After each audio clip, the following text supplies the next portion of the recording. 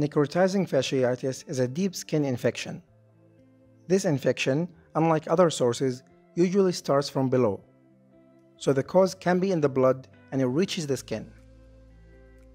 And because of this, the patient will have pain out of proportion. The skin will be diseased, but the superficial area will be completely healthy.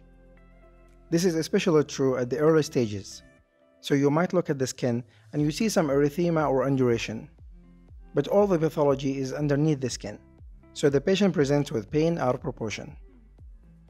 The most causative organisms are anaerobics, like Clostridium perfringens and Streptococcus pyogenes.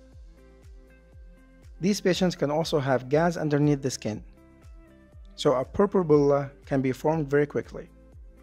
Whenever you see necrotizing fasciitis, aggressive debridement is necessary. And of course, the complications are serious. It can quickly develop into bacteremia and sepsis. However, after appropriate debridement, you should simply start the patient on antibiotics. Use the link below to get access to the full dermatology course.